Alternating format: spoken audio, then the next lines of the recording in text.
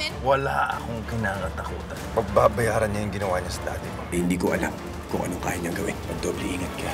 ang probinsyano.